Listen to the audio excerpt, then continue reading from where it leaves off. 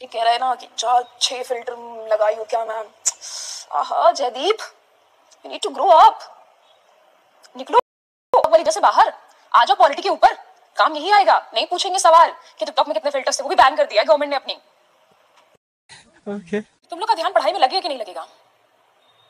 कुछ लोग तो ऐसे भी पूछ भी तो रहा है कि पढ़ाई में ध्यान लगेगा कि नहीं लगेगा। तो पता है बाद में क्लास में मैसेज करते हैं कि मैम हमारा ध्यान तो क्लास में बस आपके ऊपर ही था। हम कहाँ से पढ़े? एग्जामिनर नहीं पूछेगा कि तुम्हारा ध्यान मैम पर था कि सर के ऊपर था। उसे कोई इंटरेस्ट नहीं है तुम्हारे निजी जीवन के बारे में जानने के ऊपर। उससे अगर इंटरेस्ट है तो उसे संविधान के निजी जीवन के बारे में अच्छा हमको सिखा रिया है। इग्नोर मत कीजिएगा। ये मेरे को बोला तब से कि मुझसे शादी करेंगे मुझसे शादी करेंगे। और फिर इतना तुम लोगों पेशेंस जो है बार बार ये कमेंट करने का सेम चीज़ इसमें इतना पेशेंस है एग्ज़ाम के लिए कि पढ़ाई करो लिख रहे हो कि मैम इग्नोर मत कीजिएगा। मारी खींच के पकड़ के। सही बता रहे थे तुम लोग दिख गए ना मुझे। दौड़ा दौड़ा के मारेंगे रास्ते पे। सही बता रहे पढ़ो जल्दी से। एहे रहा नहीं जाता। तड़प ही ऐसी है ना। नहीं नहीं सुके सुके सुके शादी करो न्यू टाउन में रहते हैं। काय कलकत्ता के बाहर जाके कहा रहते हो न्यू टाउन में? आईटी में काम करते हो।